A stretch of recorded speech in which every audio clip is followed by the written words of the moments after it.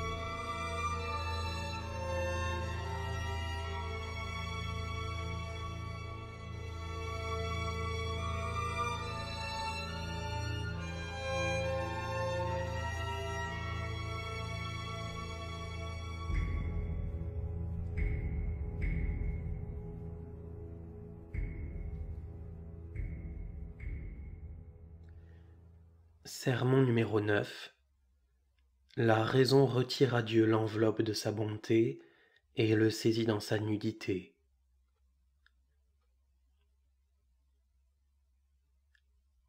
Quasi stella matutina in medio nebulae, et quasi luna plena in diebus suis lucet, et quasi sol refulgens, si quiste refulsit in templo Dei. Siracide, chapitre 50, versets 6 et 7. Comme l'étoile du matin au milieu du brouillard, comme une lune pleine en ses jours et comme un soleil rayonnant, celui-ci a brillé dans le temple de Dieu. Je prends les derniers mots. Le temple de Dieu. Qu'est-ce que Dieu? Et qu'est-ce que le temple de Dieu? Vingt-quatre maîtres se réunirent pour parler de ce qu'est Dieu. Ils vinrent au temps convenu, et chacun dit son mot. Je n'en prendrai ici que cinq. L'un dit Dieu est quelque chose en comparaison de quoi tout ce qui est sujet au changement et au temps est néant, et par rapport à quoi tout ce qui a un être est petit. Le deuxième dit Dieu est quelque chose qui est nécessairement au-dessus de l'être, qui en soi n'a besoin de personne et dont toutes les choses ont besoin. Le troisième dit Dieu est un intellect qui ne vit que dans la connaissance de lui-même. Je laisse le premier et le dernier énoncé. Je parlerai du deuxième, qui dit que Dieu est quelque chose qui nécessairement doit être au-dessus de l'être. Ce qui a de l'être, temps ou espace, ne monte pas jusqu'à Dieu et ne le touche pas. Dieu est au-dessus. Dieu est dans toutes les créatures, pour autant qu'elles ont de l'être, et pourtant il est au-dessus. Cela même qu'il est dans toutes les créatures, il l'est pourtant au-dessus d'elles. Ce qui est un en plusieurs choses doit nécessairement être au-dessus de ces choses. Certains maîtres ont pensé que le siège de l'âme était uniquement dans le cœur. Mais ce n'est pas vrai, et de grands maîtres se sont trompés là-dessus. L'âme est complète et tout entière indivise dans le pied, et elle est tout entière dans l'œil, et tout entière dans chaque membre. Si je prends un morceau de temps, ce n'est ni le jour d'aujourd'hui, ni le jour d'hier. Mais si je prends l'instant présent, il contient le temps tout entier. L'instant présent où Dieu créa le monde est tout aussi près de ce temps que l'instant présent où je parle, et le jour du jugement dernier est tout aussi près de cet instant présent que le jour d'hier. Un maître dit Dieu est quelque chose qui opère dans l'éternité, indivise en soi, qui n'a besoin ni d'aide étrangère ni d'instrument, et qui demeure en soi, qui n'a besoin de rien, mais dont toutes les choses ont besoin, et vers quoi tendent toutes choses comme vers leur fin dernière. Cette fin n'a pas de mode, elle échappe à tout mode et va dans l'immensité. Et Saint Bernard dit Aimer Dieu, c'est un mode sans mode. Le médecin qui veut guérir un malade n'a pas un mode de santé spécial à rétablir chez le malade qu'il veut guérir. Il a bien un mode pour soigner ce malade, mais quant à dire quelle santé il lui rendra, c'est sans mode, aussi bien portant qu'il le pourra jamais. Comment devons-nous aimer Dieu? C'est sans mode, aussi fort que nous le pourrons jamais, c'est-à-dire sans mode.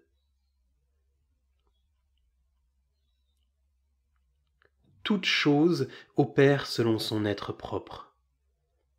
Rien ne peut opérer au-dessus de son être. Le feu ne peut opérer que dans le bois. Dieu, lui, opère au-dessus de l'être, dans la grandeur où il peut se mouvoir. Il opère dans le non-être. Avant même qu'il y eût de l'être, Dieu opérait déjà il a opéré l'être alors qu'il n'y avait encore aucun être. Des maîtres frustes disent que Dieu est un être pur, mais il est aussi haut au-dessus de l'être que l'ange le plus élevé l'est au-dessus d'une mouche. Je parlerais aussi incorrectement de Dieu en l'appelant un être que si je disais du soleil qu'il est blême noir. Dieu n'est ni ceci ni cela. Un maître dit, Si quelqu'un se figure avoir connu Dieu et avoir connu quelque chose, il n'a pas connu Dieu. Mais quand j'ai dit que Dieu n'était pas un être et qu'il était au-dessus de l'être, je ne lui ai pas par là dénié l'être, au contraire, j'ai exaucé l'être en lui. Si je prends le cuivre dans l'or, il y est, et il y est sur un mode supérieur à celui qu'il a en lui-même. Saint Augustin dit Dieu est sage sans sagesse, bon sans bonté puissant sans puissance. Les petits maîtres enseignent à l'école que tout l'être est divisé en dix modes, et tous ces modes, ils les dénient absolument à Dieu. Aucun de ces modes ne touche Dieu en quoi que ce soit, et lui-même ne manque d'aucun d'entre eux. Le premier, celui qui renferme le plus d'êtres et par lequel toutes choses reçoivent leur être, c'est la substance. Mais en Dieu, le dernier, celui qui comporte le moins d'êtres et s'appelle relatio, est semblable à ce qu'il y a de plus grand, à ce qui possède le plus d'êtres. Tous deux, être et relation, ont la même image en Dieu. En Dieu, les images de toutes choses sont égales, même si ce sont les images de choses inégales. L'ange le plus élevé, l'âme et le moucheron ont une image égale en Dieu. Dieu n'est ni être ni bonté. La bonté est liée à l'être et n'est pas plus étendue que l'être. Car s'il n'y avait pas d'être, il n'y aurait pas non plus de bonté, et l'être est encore plus pur que la bonté. Dieu n'est ni bon, ni meilleur, ni le meilleur. Celui qui dirait que Dieu est bon, lui ferait aussi tort que s'il disait que le soleil est noir. Pourtant Dieu dit lui-même, Personne n'est bon hormis Dieu seul. Qu'est-ce qui est bon? Est bon ce qui se communique. Nous disons d'un homme qu'il est bon quand il se communique et se rend utile. C'est pourquoi un maître païen dit qu'un solitaire n'est en ce sens ni bon ni méchant, puisqu'il ne se communique pas et ne se rend pas utile. Dieu est ce qu'il y a de plus commun. Une chose ne communique rien de ce qui vient d'elle, car d'elle-même, une créature n'est rien. Ce que les créatures communiquent, elles le tiennent d'un autre. Elles ne se donnent pas non plus elles-mêmes. Le soleil donne sa lumière, mais il demeure où il est. Le feu donne sa chaleur, mais il reste du feu. Dieu, lui, communique ce qui est sien parce qu'il est par lui-même ce qu'il est, et dans tous les dons qu'il fait, il se donne d'abord lui-même. Dans tous ses dons, il se donne comme le Dieu qu'il est, et il se donne aussi loin que celui qui voudrait l'accueillir est capable de le recevoir. C'est dans ce sens que Saint Jacques dit Tous les dons excellents viennent d'en haut, émanant du Père des Lumières. Lorsque nous prenons Dieu dans l'être, nous le prenons dans son parvis, car l'être est son parvis, là où il habite. Mais où donc Dieu est-il dans son temple là où il brille dans sa sainteté?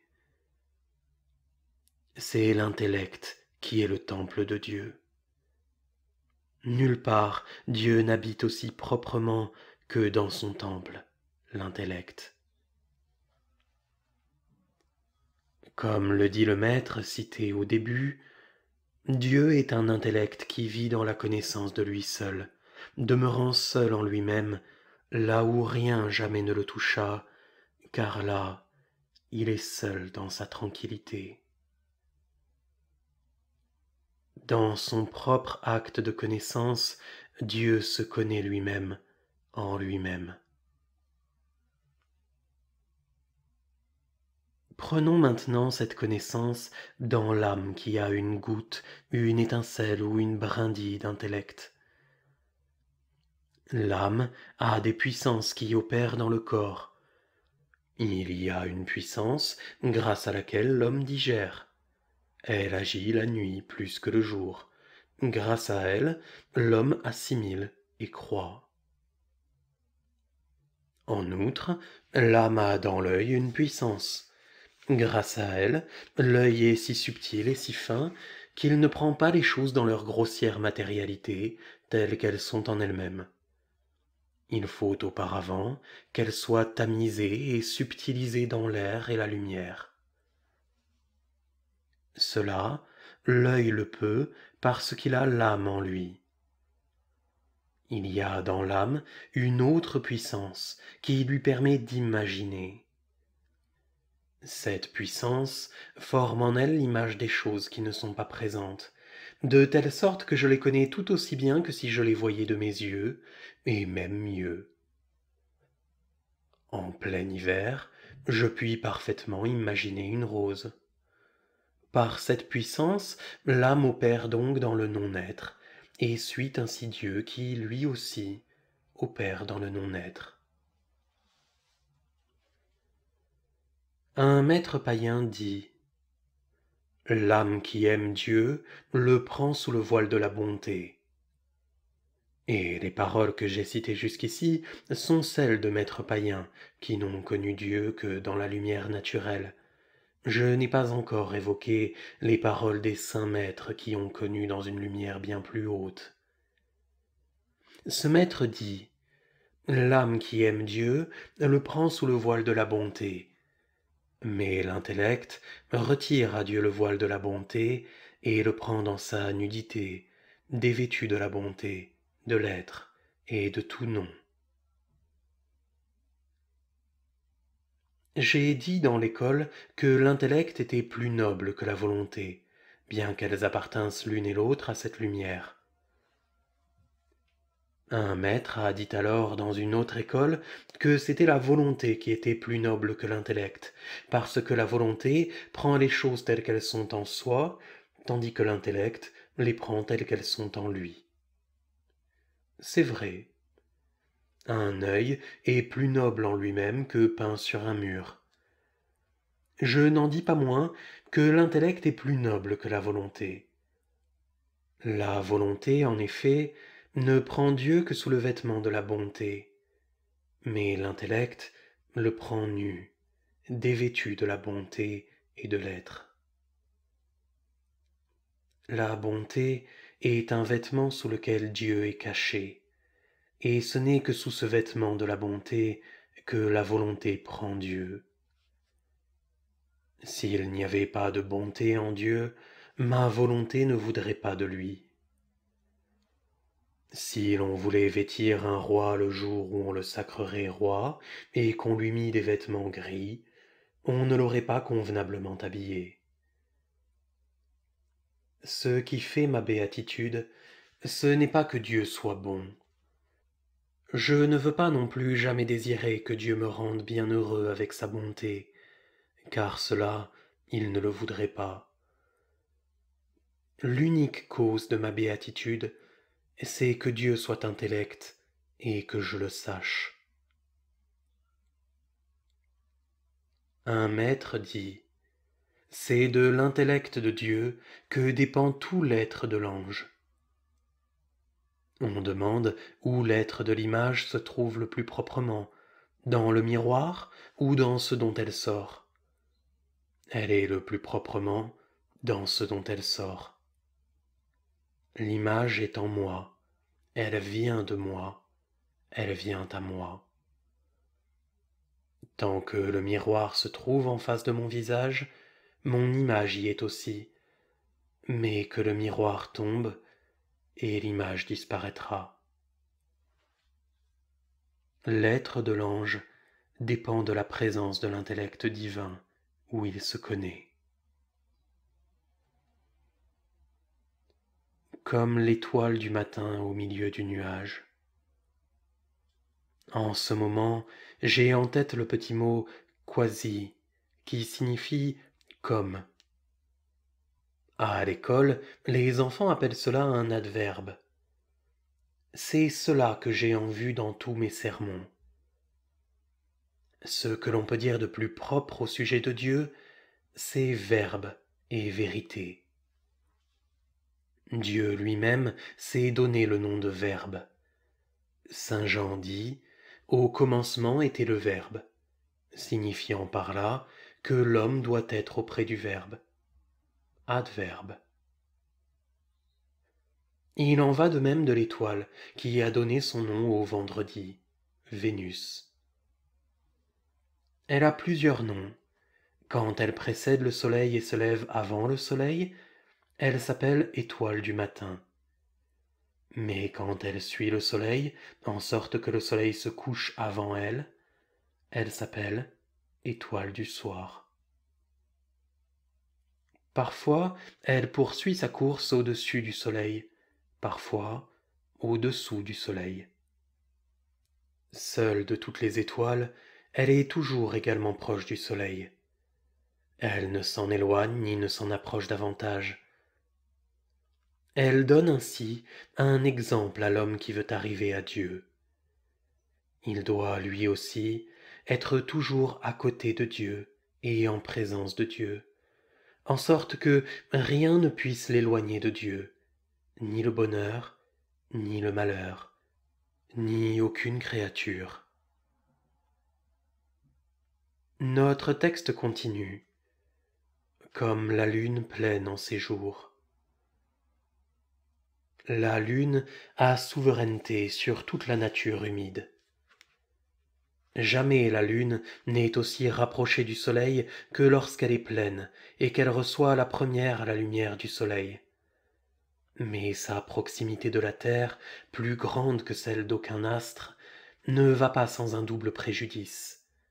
Elle est pâle et tachée, et elle perd sa lumière. Jamais elle n'est aussi puissante que lorsqu'elle est le plus loin de la terre, car c'est à ce moment-là qu'elle soulève le plus la mer. En revanche, plus elle décroît, moins elle soulève la mer. Plus l'âme s'élève au-dessus des choses terrestres, plus elle acquiert de force. Celui même qui ne connaîtrait que les créatures n'aurait plus besoin de méditer sur aucun sermon, car toute créature est pleine de Dieu et est à elle seule un livre.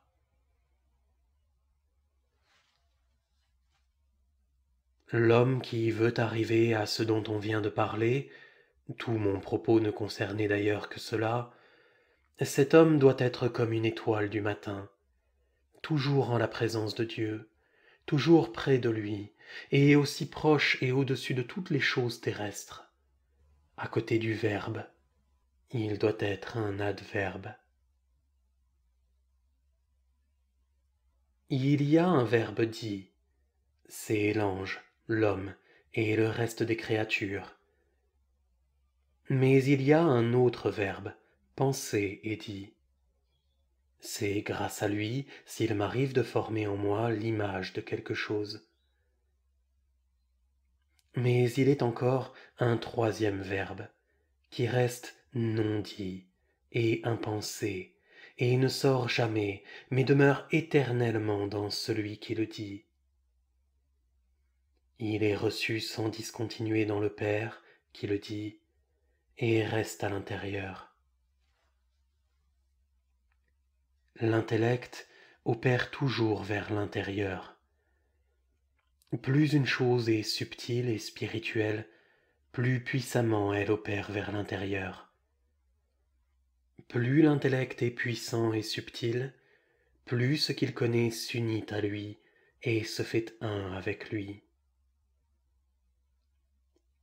Il n'en va pas de même des choses corporelles. Plus elles sont fortes, plus elles agissent à l'extérieur. La béatitude de Dieu repose sur l'opération de l'intellect tourné vers l'intérieur, là où, intérieurement, reste le Verbe. C'est là que l'âme doit être un adverbe et opérer une seule œuvre avec Dieu, et dans une connaissance planante en elle-même recevoir sa béatitude là même où Dieu est bien heureux. Puissions-nous être en tout temps, nous aussi, un adverbe de ce Verbe, avec l'aide de Dieu, de ce même Verbe, et du Saint-Esprit. Amen.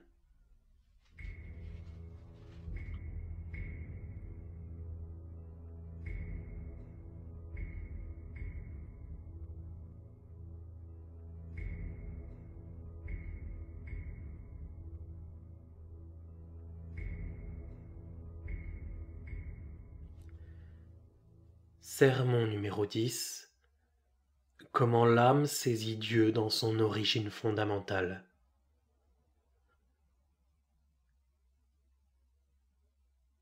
In diebus suis placuit Deo et inventus est justus. Siracide, chapitre 44, versets 16 et 17.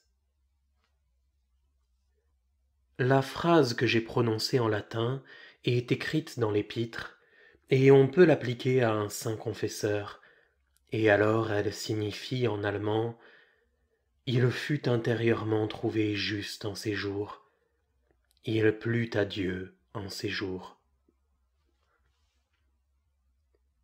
Il a trouvé la justice de l'intérieur. Mon corps est plus dans mon âme que mon âme n'est dans mon corps. Mais mon corps et mon âme sont plus en Dieu qu'ils ne sont en eux-mêmes. Et c'est en cela que consiste la justice. C'est la cause de toute chose en vérité. Ainsi que le dit saint Augustin, Dieu est plus près de l'âme qu'elle ne l'est elle-même. La proximité entre Dieu et l'âme ne laisse place à aucune distinction en vérité. La connaissance même où Dieu se connaît lui-même intérieurement est la connaissance de tout esprit détaché et aucune autre. L'âme reçoit son essence de Dieu sans intermédiaire. C'est pourquoi Dieu est plus près de l'âme qu'elle ne l'est elle-même. C'est pourquoi Dieu est dans le fond de l'âme avec toute sa déité. Mais un maître demande si la lumière divine émane dans les puissances de l'âme aussi purement qu'elle est dans l'essence de l'âme, étant donné que l'âme tient son essence de Dieu sans intermédiaire, alors que les puissances émanent sans intermédiaire de l'essence de l'âme. La lumière divine est bien trop noble pour avoir la moindre communauté avec les puissances de l'âme car tout ce qui touche ou est touché, Dieu en est loin et lui est étranger. C'est pourquoi, comme dès qu'elles touchent ou sont touchées, les puissances perdent leur virginité, la lumière divine ne peut briller en elles. Mais par l'exercice et le dépouillement, elles peuvent devenir réceptives.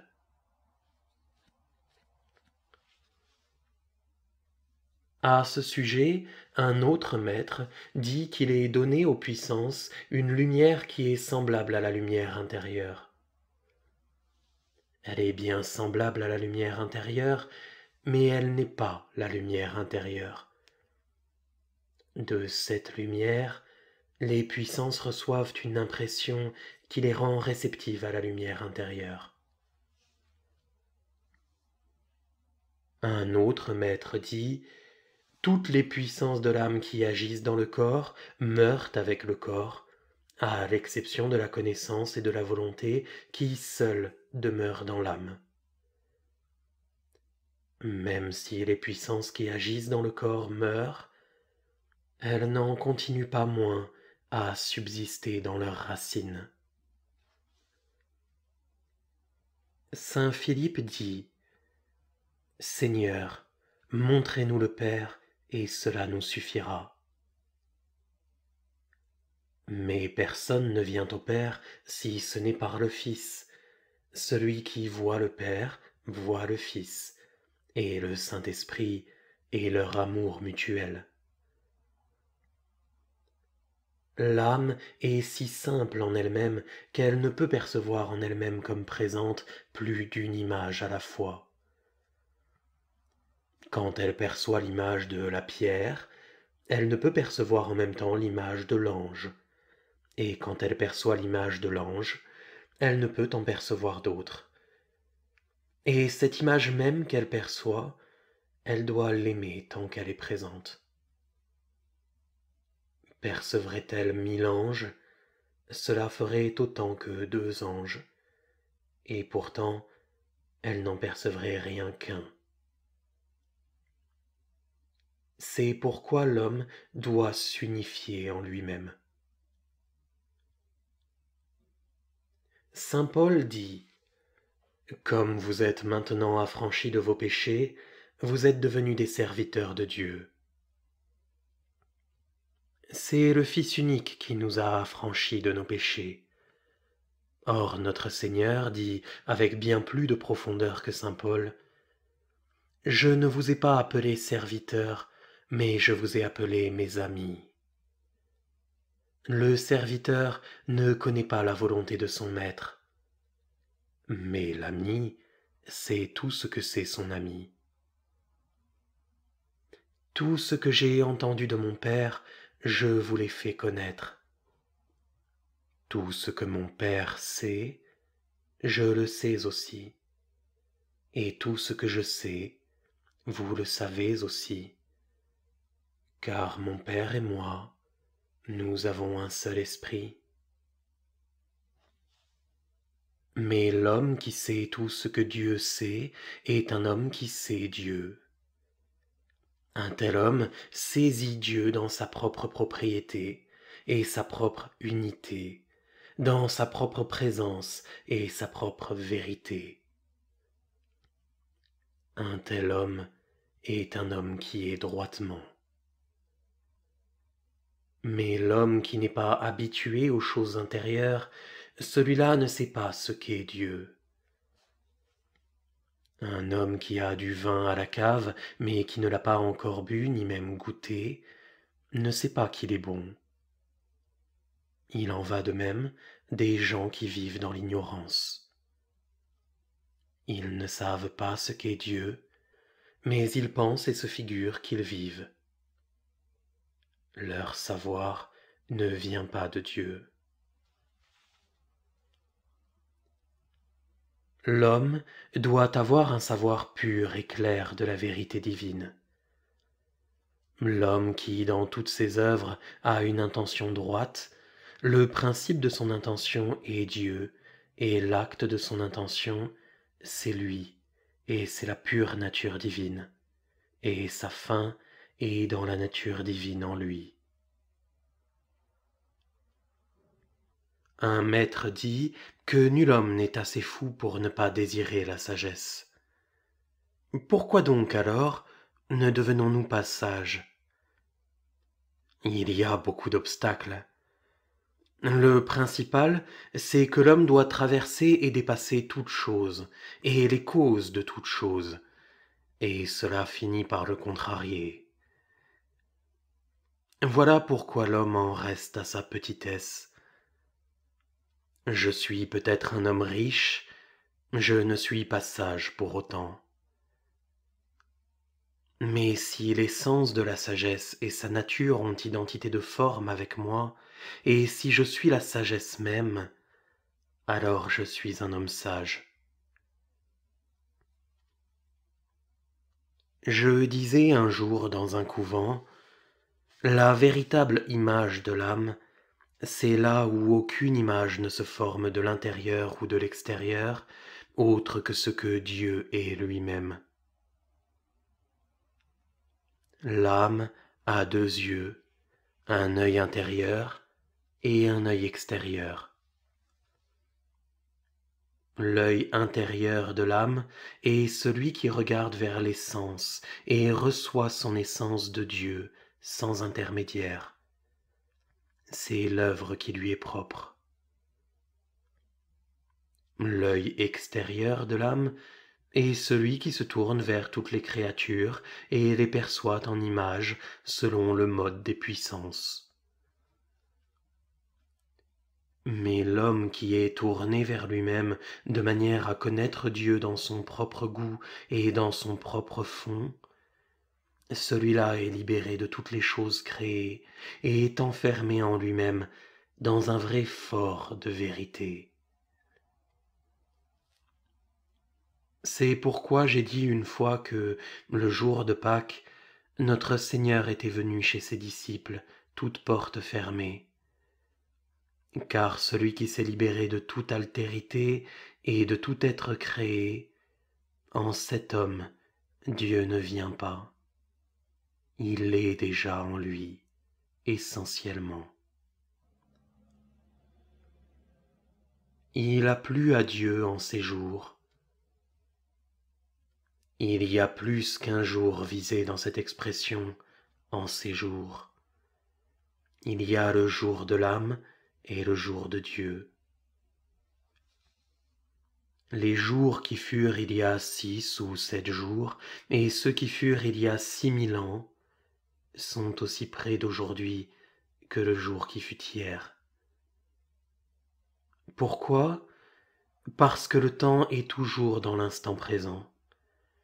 Du fait que le ciel se meut, le jour date de la première révolution du ciel.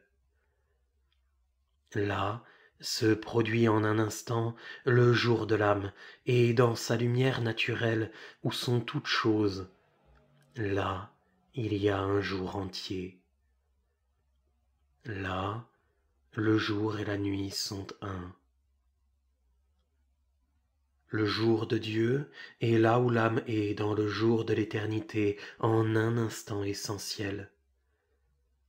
C'est là que le Père engendre son Fils unique dans un instant présent, et c'est là que l'âme renaît en Dieu.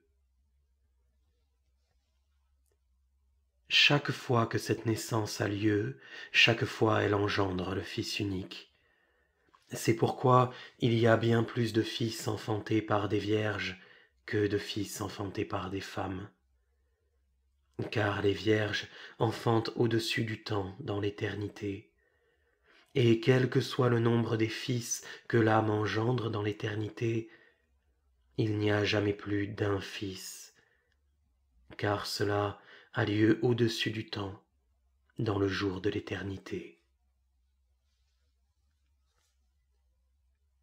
L'homme est droitement quand il vit dans les vertus, car comme je vous le disais il y a huit jours, les vertus sont dans le cœur de Dieu.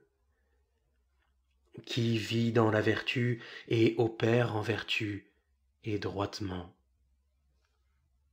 Celui qui ne cherche son bien propre en rien, ni en Dieu, ni dans les créatures, celui-là demeure en Dieu, et Dieu demeure en lui. Pour un tel homme, c'est une joie de laisser toute chose et de tout mépriser, et c'est une joie d'accomplir toutes choses en leur plus haute perfection. Saint Jean dit Deus caritas est. Dieu est amour, et l'amour est Dieu, et celui qui habite dans l'amour habite en Dieu, et Dieu habite en lui. Mais celui qui habite en Dieu a bien choisi sa maison, et il est héritier de Dieu. Et celui en qui Dieu demeure a en lui de dignes compagnons. Un maître dit, L'âme reçoit de Dieu un don qui la meut vers les choses intérieures.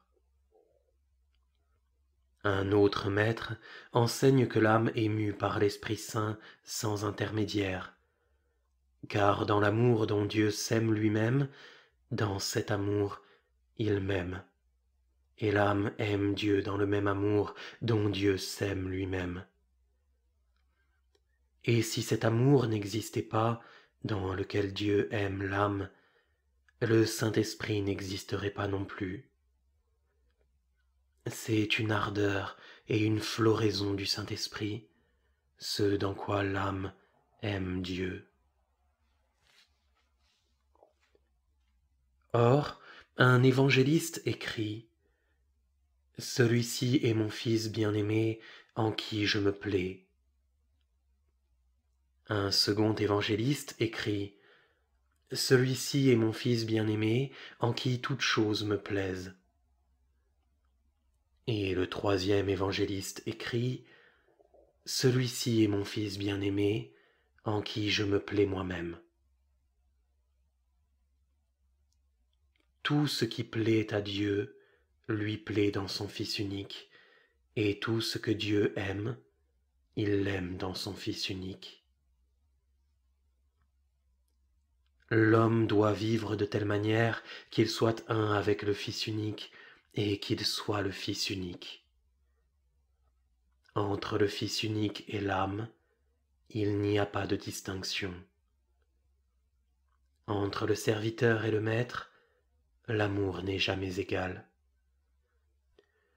Tant que je suis serviteur, je suis bien loin du Fils unique, et je lui reste inégal.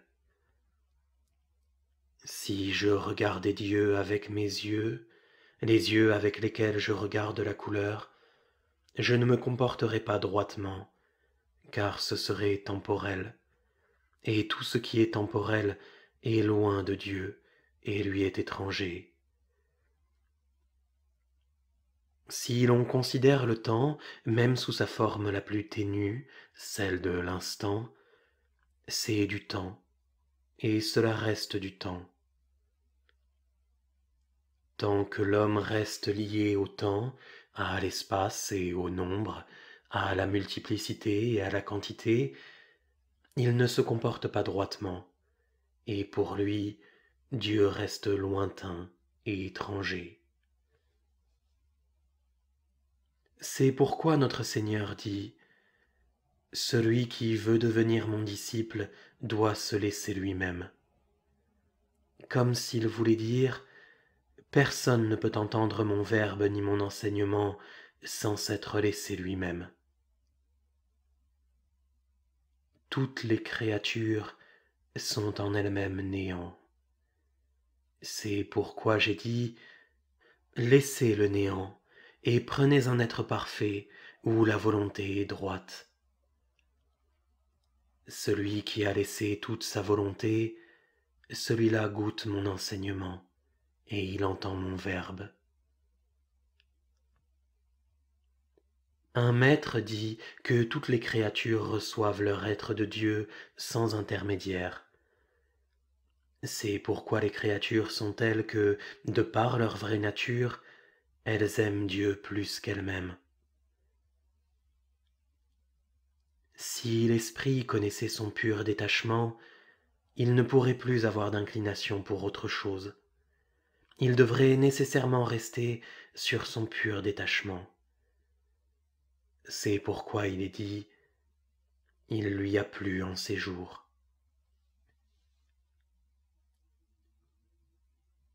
Il y a une différence entre le jour de l'âme et le jour de Dieu.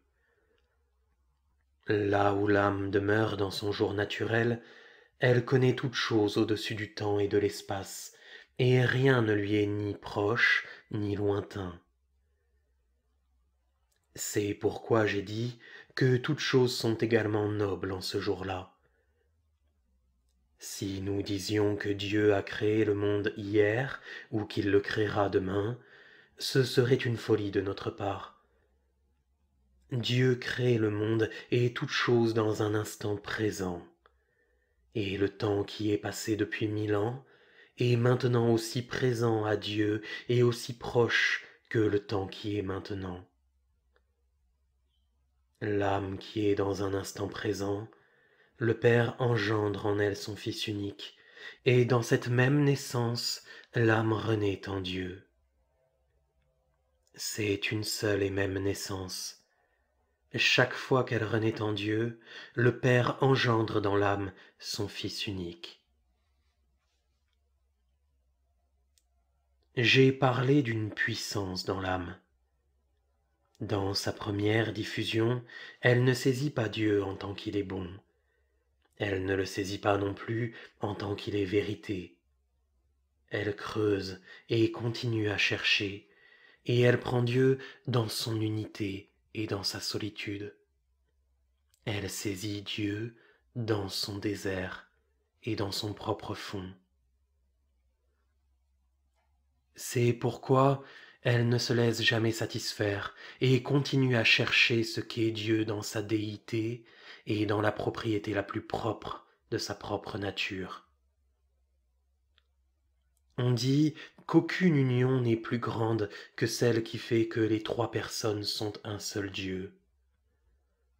On dit ensuite qu'aucune union n'est plus grande que celle de Dieu et de l'âme. Si l'âme reçoit un baiser de la déité, elle est dans la plénitude de la perfection et de la béatitude. Elle est enlacée par l'unité. Dans la première touche où Dieu a touché l'âme et continue de la toucher sur un mode incréé et incréable, l'âme, par la touche de Dieu, est devenue aussi noble que Dieu lui-même, car Dieu la touche selon lui-même.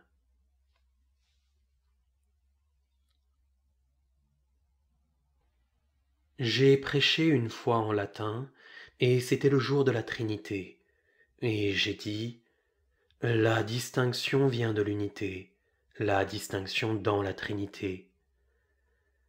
Plus la distinction est grande, plus grande est l'unité, car c'est une distinction sans distinction. S'il y avait là mille personnes, il n'y aurait pourtant là qu'unité.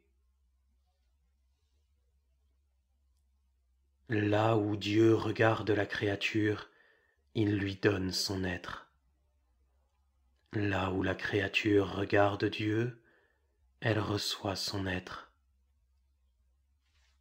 L'être qu'a l'âme est un connaître intellectuel. C'est pourquoi partout où est Dieu, là est l'âme, et partout où est l'âme, là est Dieu. Or il est dit, il fut intérieurement trouvé. Et est intérieur ce qui habite dans le fond de l'âme, au plus intime de l'âme, dans l'intellect, et ne sort pas de là, et ne regarde vers aucune chose.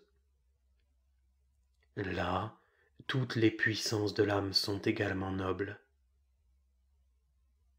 Là, il fut intérieurement trouvé juste et juste ceux qui restent égal dans la joie et dans la peine, dans l'amertume et dans la douceur, à qui aucune chose ne s'oppose, en sorte qu'ils se trouvent un dans la justice. L'homme juste ne fait qu'un avec Dieu. L'égalité est aimée. L'amour aime toujours ce qui est égal. C'est pourquoi Dieu aime l'homme juste égal à lui-même. Que Dieu, le Père, le Fils et le Saint-Esprit nous aident à nous trouver intérieurement, dans le jour et dans le temps de l'intellect, et dans le jour de la sagesse, et dans le jour de la justice, et dans le jour de la béatitude. Amen.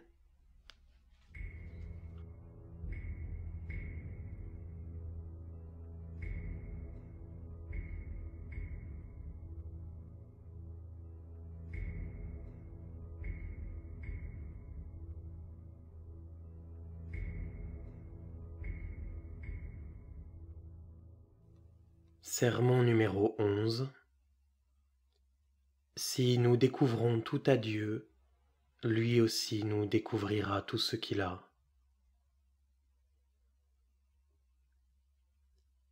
Elisabeth implementum est tempus pariendi et peperit filium.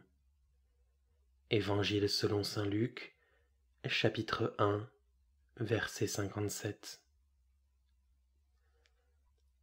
Quand le temps fut rempli où Élisabeth devait enfanter, elle mit au monde un fils. Jean est son nom. Alors les gens dirent, Quel prodige viendra de cet enfant, car la main de Dieu est avec lui. Il est dit dans l'Écriture, Le plus grand don que nous ayons reçu de Dieu, c'est que nous soyons enfants de Dieu, et qu'il engendre son Fils en nous. L'âme qui veut être enfant de Dieu et dans laquelle doit naître le Fils de Dieu, rien d'autre ne doit s'y engendrer. Engendrer, voilà le plus haut dessein de Dieu. Il n'est jamais satisfait avant d'avoir fait naître son Fils en nous. Et l'âme, de son côté, n'a de satisfaction en rien tant que le Fils de Dieu n'est pas né en elle. car c'est alors que jaillit la grâce. La grâce est infusée. La grâce n'opère pas. Son œuvre, c'est sa venue. Elle s'écoule de l'essence de Dieu et s'infuse dans l'essence de l'âme, et pas dans ses puissances. Quand le temps fut rempli, la grâce naquit. Quand y a-t-il plénitude du temps? Quand il n'y a plus de temps. Quand on a dans le temps mis son cœur dans l'éternité, quand toutes les choses temporelles sont mortes en nous, c'est la plénitude du temps. J'ai dit un jour, ils ne se réjouissent pas de tout temps ceux qui se réjouissent encore dans le temps. Mais Saint Paul dit, Réjouissez-vous en Dieu de tout temps. Celui-là seul se réjouit de tout temps, qui se réjouit au-dessus du temps et hors du temps. Il est en effet trois choses qui font obstacle à l'homme au point qu'il ne peut plus connaître Dieu d'aucune manière. Ce sont premièrement le temps, deuxièmement la corporalité, troisièmement la multiplicité. Tant que ces trois choses sont en moi, Dieu n'est pas en moi et n'opère pas en moi proprement. Saint Augustin dit C'est par avarice que l'âme veut en saisir et avoir. C'est pourquoi elle se jette sur le temps, le corporel et la multiplicité. Mais de ce fait même, elle perd tout ce qu'elle a. Tant que le plus, toujours plus est en toi, Dieu ne peut en effet ni habiter, ni opérer en toi. Toutes ces choses doivent sans trêve sortir de toi pour que Dieu puisse entrer en toi, à moins que tu ne les possèdes selon un mode plus haut et meilleur si le multiple s'est fait un en toi. Car alors, plus il y a de multiplicité en toi, plus il y a d'unité, puisque l'un s'est changé en l'autre. J'ai dit un jour, l'unité unifie toute multiplicité, mais la multiplicité ne donne pas d'être une à l'unité. Si nous nous élevons au-dessus de toute chose, et si tout ce qui est en nous est exaucé, rien ne pèse plus sur nous ce qui est au-dessous de moi ne pèse pas sur moi. Si je ne visais purement que Dieu, de manière qu'au-dessus de moi il n'y eût plus que Dieu, rien ne me serait plus lourd, et je ne serais plus prompte à m'affliger.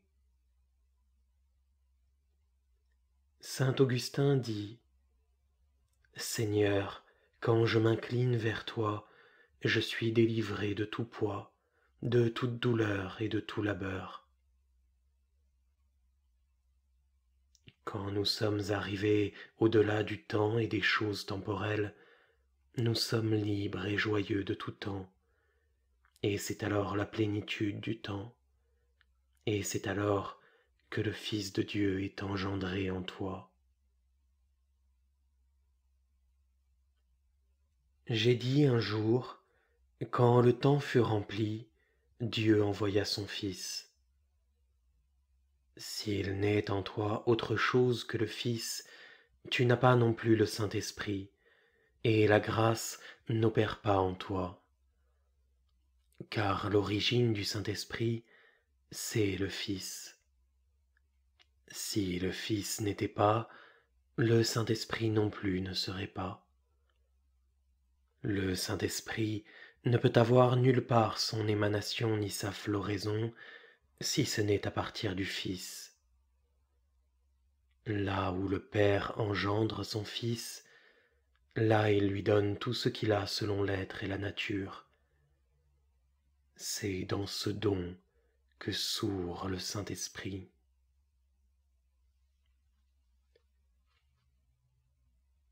Le dessein de Dieu, c'est de se donner à nous entièrement.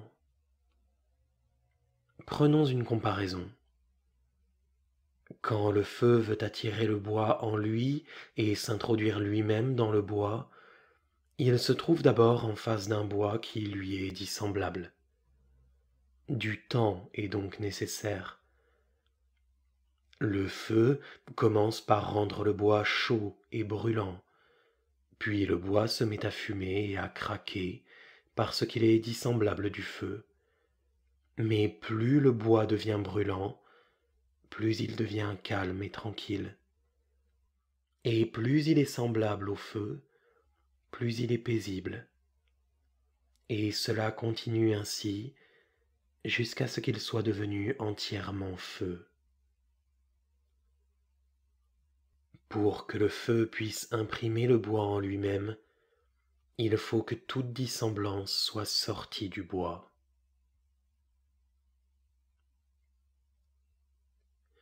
Par la vérité qui est Dieu, si tu vises autre chose que Dieu seul, ou que tu cherches autre chose que Dieu, l'œuvre que tu opères n'est aucunement tienne, ni en vérité l'œuvre de Dieu. La fin visée dans l'œuvre, c'est l'œuvre même. Ce qui opère en moi, c'est mon Père, et je lui suis soumis. Il est impossible qu'il y ait deux pères dans la nature. Dans la nature, il doit toujours y avoir un seul Père. Quand toutes les autres choses sont sorties, et pleinement, alors cette naissance a lieu. Ce qui remplit touche à tous les bouts et ne fait défaut nulle part. Cela a largeur et longueur, hauteur et profondeur. Si cela n'avait que la hauteur, sans avoir la largeur, la longueur et la profondeur, cela ne remplirait pas. Saint Paul dit Priez afin de comprendre avec tous les saints quelle est la hauteur et la largeur, la longueur et la profondeur. Ces trois parties désignent trois espèces de connaissances. L'une est la connaissance sensible. L'œil voit les choses qui sont hors de lui, même très éloignées. La deuxième, c'est la connaissance rationnelle et elle est bien plus haute. La troisième désigne une noble faculté de l'âme, qui est si haute et si noble qu'elle saisit Dieu dans la simplicité de sa propre essence. Cette puissance n'a rien de commun avec quoi que ce soit.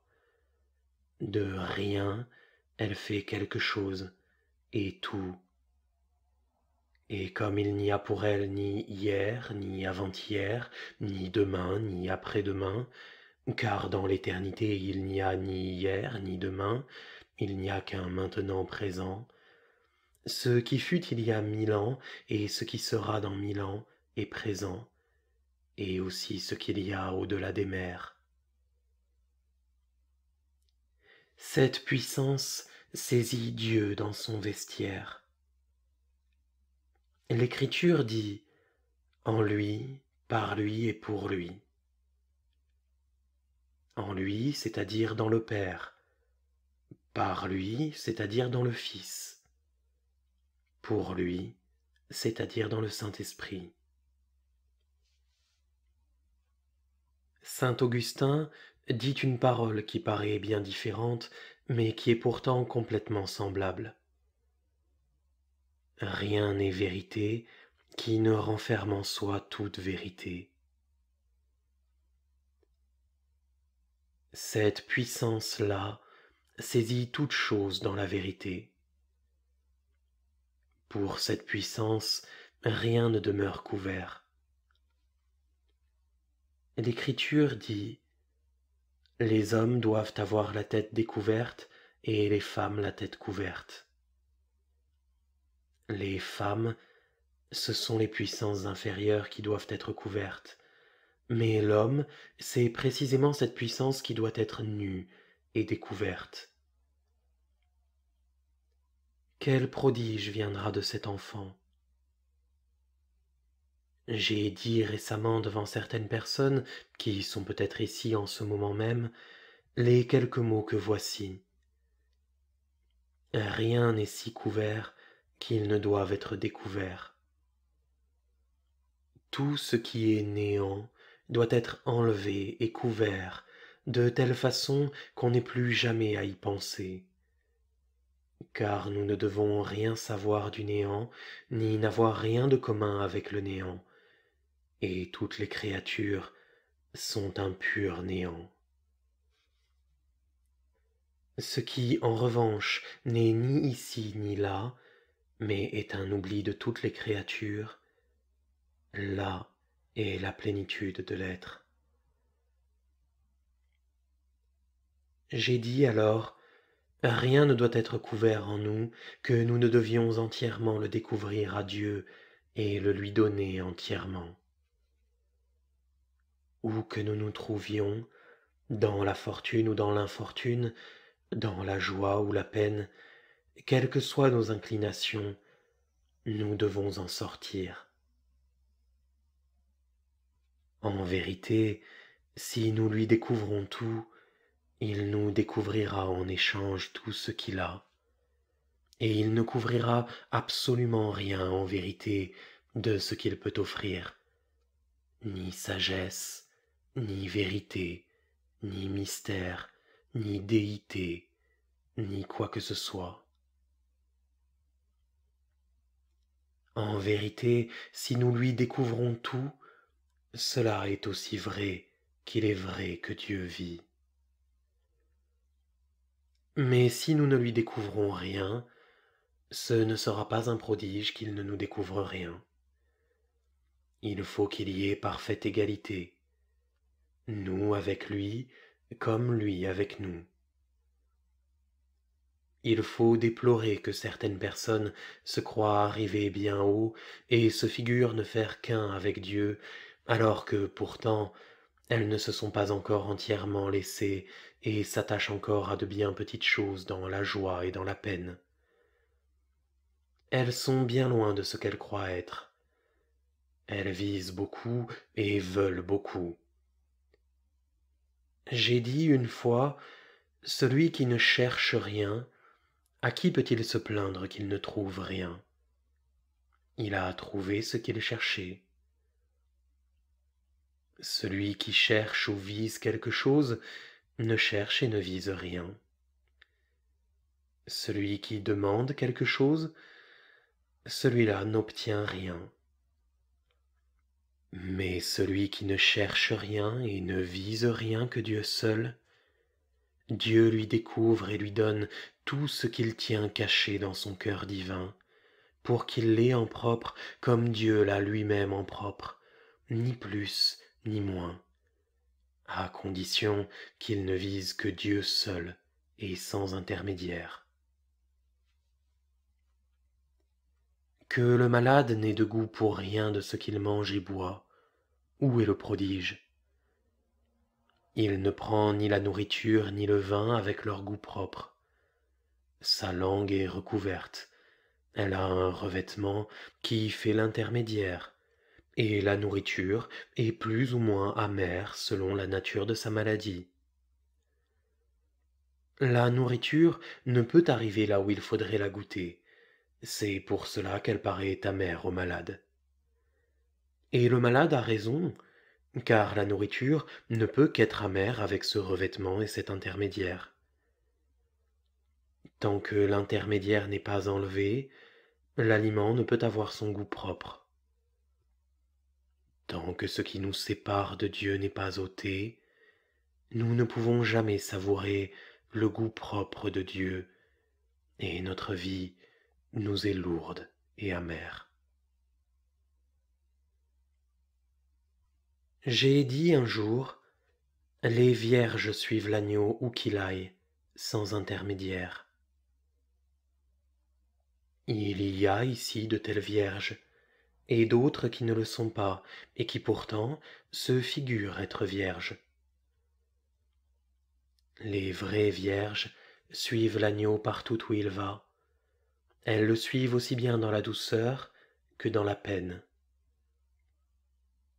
Certaines suivent l'agneau quand il va dans la douceur et l'agrément, mais quand il va dans la souffrance, le désagrément et le labeur, elles font demi-tour et ne le suivent plus. En vérité, celles-là ne sont pas vierges, malgré les apparences. Certains disent Seigneur, je voudrais bien vous suivre, mais dans l'honneur, la richesse et l'agrément. En vérité, si l'agneau a vécu de la sorte, et s'il nous a montré le chemin comme il l'a fait, j'entends bien que vous le suiviez de la même manière. Quant aux vraies vierges, elles suivent l'agneau, que le chemin soit étroit ou large, partout où il se glisse lui-même. Quand le temps fut rempli, la grâce naquit. Que toutes choses s'accomplissent en nous pour que la grâce divine naisse en nous avec l'aide de Dieu. Amen.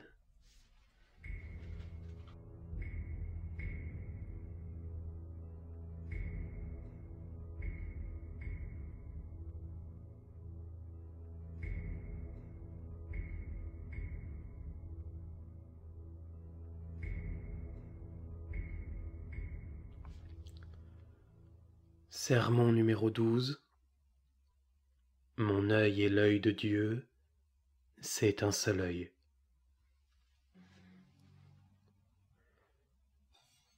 Qui audit me non confundetur? Siracide, chapitre 24, verset 30.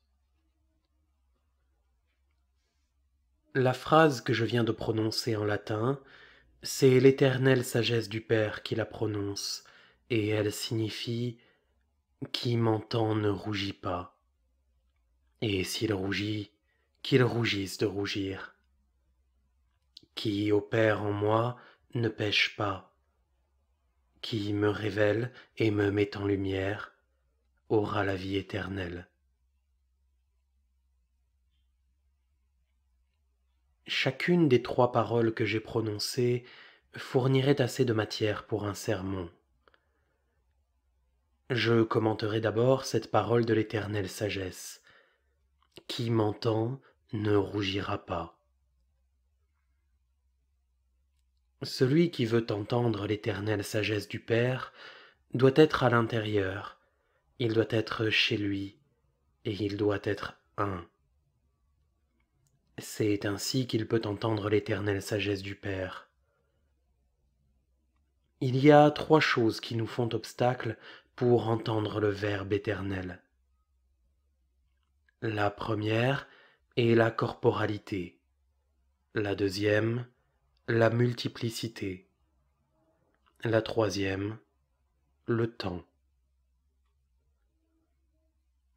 Si l'homme avait dépassé ces trois choses, il habiterait dans l'éternité, il habiterait dans l'esprit, il habiterait dans l'unité et dans le désert, et là, il entendrait le Verbe éternel. Or, notre Seigneur dit, Nul n'entend mon Verbe ni mon enseignement s'il ne s'est pas d'abord laissé lui-même. En effet, qui veut entendre le Verbe de Dieu doit s'être entièrement laissé. Dans le Verbe éternel, ce qui entend est identique à ce qui est entendu. Tout ce qu'enseigne le Père éternel, c'est son être, sa nature et toute sa déité. Il nous le révèle entièrement dans son Fils unique et nous enseigne que nous sommes le même Fils. L'homme qui serait sorti de lui-même jusqu'à être le Fils unique aurait en propre ce qui est propre au Fils unique. Quoi que Dieu opère et quoi qu'il enseigne, il opère et enseigne tout dans son Fils unique. Dieu opère toutes ses œuvres pour que nous soyons le Fils unique. Lorsque Dieu voit que nous sommes le Fils unique, il nous désire avec une telle impétuosité, il est pris d'une telle hâte, qu'il agit tout comme si son être divin allait se briser et s'anéantir en lui-même, pour nous révéler tout l'abîme de sa déité et la plénitude de son être et de sa nature. Alors, ce dont Dieu a hâte, c'est que tout cela soit notre bien propre, comme c'est son bien propre. Là, Dieu a joie et jouissance dans la plénitude. Cet homme se tient dans la connaissance de Dieu et l'amour de Dieu, et ce qu'il devient n'est pas autre chose que ce que Dieu lui-même est. Si tu t'aimes toi-même, tu aimes tous les hommes comme toi-même. Tant qu'il y a un seul homme que tu aimes moins que toi-même, tu ne t'es jamais vraiment aimé toi-même. Car tu ne t'aimes pas vraiment toi-même si tu n'aimes pas tous les hommes comme toi-même, tous les hommes en un seul homme, en cet homme qui est Dieu et homme. Celui-là seul est droit, qui s'aime lui-même et qui aime tous les hommes comme lui-même, celui-là est vraiment droit. Mais d'aucuns disent, Mon ami qui me fait du bien m'est plus cher qu'un autre homme. C'est mal, c'est imparfait, mais il faut le tolérer. Il en est ainsi des gens qui vont sur mer et qui, avec un demi-vent, arrivent à traverser. Il en va de même de ceux qui aiment tel homme plus que tel autre. C'est naturel. Si j'aimais vraiment quelqu'un autant que moi-même, tout ce qui lui adviendrait pour sa joie ou par sa peine, que ce soit vie ou mort, je l'aimerais autant que si cela m'arrivait à moi, et ce serait là la véritable amitié. C'est pourquoi Saint Paul dit Je voudrais être éternellement séparé de Dieu pour mes frères et pour Dieu. Se séparer un instant de Dieu, c'est être éternellement séparé de Dieu. Se séparer de Dieu, c'est la peine de l'enfer. Qu'entend donc Saint Paul en disant qu'il voudrait être séparé de Dieu? Voici la question que posent les maîtres. Saint Paul était-il encore sur le chemin de la perfection ou était-il déjà en pleine perfection? Je dis, il était en pleine perfection. Autrement, il n'aurait pu dire ce qu'il a dit. Je vais expliquer maintenant cette parole de Saint Paul qu'il voulait être séparé de Dieu. Le plus haut et le plus élevé que l'homme puisse laisser, c'est de laisser Dieu pour Dieu. Or, Saint Paul a laissé Dieu pour Dieu. Il a laissé tout ce qu'il pouvait tenir de Dieu, et il a laissé tout ce que Dieu pouvait lui donner, et tout ce qu'il pouvait recevoir de Dieu. Quand il a laissé cela, il a laissé Dieu pour Dieu. Et alors, Dieu lui est resté, tel que Dieu est étant en lui-même, et non pas selon un don qu'il ferait de lui-même ou une saisie qui se ferait de lui-même, mais dans une étentité que Dieu est en lui-même. Il n'a jamais rien donné à Dieu, ni n'a jamais rien reçu de Dieu. C'est un un, et une intuition pure. Ici, l'homme est un homme véritable, et nulle souffrance ne peut l'atteindre, pas plus qu'elle ne peut atteindre l'être divin. Comme je l'ai dit souvent, il y a dans l'âme quelque chose qui est tellement apparenté à Dieu que c'est un et non uni. C'est un, cela n'a rien de commun avec rien, et cela n'a non plus rien de commun avec tout ce qui est créé. Tout ce qui est créé est néant.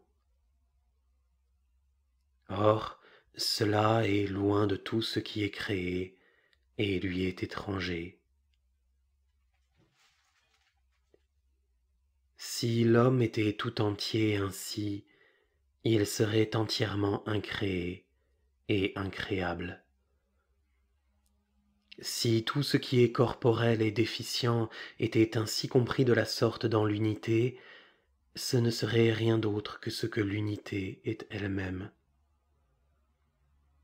Si je me trouvais dans cet être, ne fût-ce qu'un instant, je ne me prêterais pas plus d'attention qu'à un verre dans son fumier. À toute chose, Dieu donne de façon égale, et durant que ces choses émanent de Dieu, elles sont égales.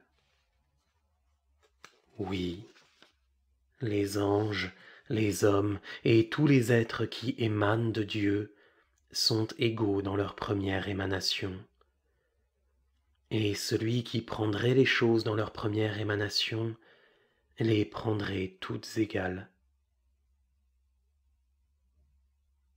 Si elles sont déjà si égales dans le temps, elles le sont encore bien plus en Dieu, dans l'éternité.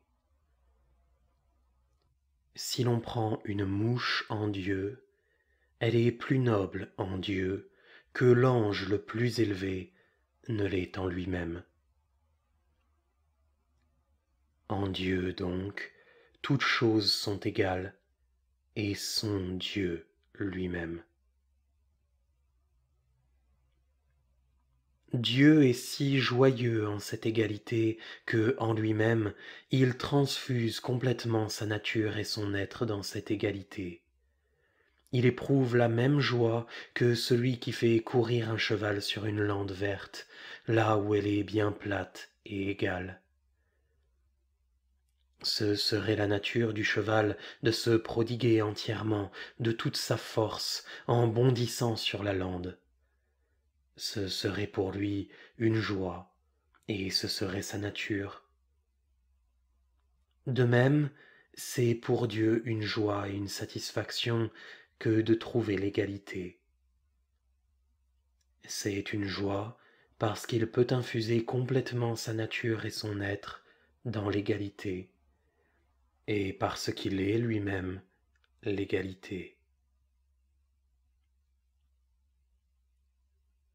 Ici, une question se pose au sujet des anges. Les anges qui demeurent ici-bas avec nous, qui nous servent et nous gardent, ont-ils en quelque façon moins d'égalité dans leur joie que ceux qui sont dans l'éternité? Et sont-ils lésés d'une manière quelconque par les œuvres qu'ils accomplissent pour nous garder et nous servir? Je réponds non, pas du tout leur joie n'en est en rien amoindrie, ni leur égalité, car l'opération de l'ange est la volonté de Dieu, et la volonté de Dieu est l'opération de l'ange. C'est pourquoi l'ange ne rencontre d'obstacle ni à sa joie, ni à son égalité, ni à ses opérations. Si Dieu ordonnait à l'ange de s'en aller sur un arbre et d'y ramasser les chenilles, l'ange serait prêt à ramasser les chenilles, et ce serait sa béatitude, et ce serait la volonté de Dieu. L'homme qui se tient ainsi dans la volonté de Dieu ne veut rien d'autre que ce qu'est Dieu et ce qui est la volonté de Dieu. S'il était malade, il ne voudrait pas être en bonne santé. Toute peine lui est une joie, toute multiplicité est pour lui une simplicité et une unité, s'il se tient droitement dans la volonté de Dieu. Les peines de l'enfer y fussent elles-mêmes attachées, il en aurait joie et béatitude. Il est vide, il est sorti de lui-même, et tout ce qu'il doit recevoir, il doit en être vide. Pour que mon œil puisse voir les couleurs, il doit être vide de toute couleur. Quand je vois une couleur bleue ou blanche, la vision de mon œil qui voit la couleur, autrement dit cela même qui voit, est identique à ce qui est vu par l'œil. L'œil dans lequel je vois Dieu est le même œil dans lequel Dieu me voit. Mon œil et l'œil de Dieu sont un seul et même œil une seule et même vision, une seule et même connaissance, un seul et même amour. L'homme qui se tient ainsi dans l'amour de Dieu doit être mort à lui-même et à toutes les choses créées, en sorte qu'il se prête aussi peu d'attention à lui-même qu'à quelqu'un qui se trouve à plus de mille lieues. Un tel homme reste dans l'égalité, et il reste dans l'unité, et il reste parfaitement égal. Aucune inégalité n'entre en lui. Cet homme doit s'être laissé lui-même et avoir laissé le monde entier.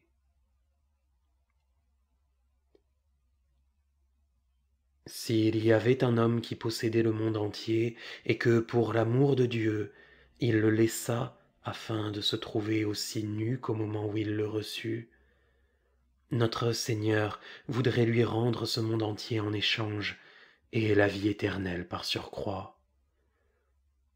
Et s'il y avait un autre homme qui ne possédait rien d'autre qu'une bonne volonté, et qui pensait Seigneur, si ce monde était à moi, et encore un autre, et un autre encore, ce qui en ferait trois, et si cet homme exprimait ainsi son désir, Seigneur, je veux laisser tout cela pour me trouver aussi nu qu'au moment où je l'ai reçu de toi. À cet homme, Dieu donnerait autant que si cet homme lui avait réellement tout restitué de ses propres mains et un autre homme qui, lui, n'aurait plus rien ni de corporel ni de spirituel à laisser ou à donner, celui-là serait celui qui laisserait le plus. Qui se laisserait complètement lui-même pendant un instant, tout lui serait donné. Mais si quelqu'un se laissait durant vingt ans, et s'il se reprenait lui-même un instant, ce serait comme s'il ne s'était jamais encore laissé. L'homme qui a laissé, et qui s'est laissé, et qui ne jette plus même un coup d'œil sur ce qu'il a laissé, l'homme qui reste ferme, immobile et impassible en lui-même, celui-là seul s'est laissé. Puissions-nous rester aussi fermes et immuables que le Père éternel, avec l'aide de Dieu et de l'éternelle sagesse. Amen.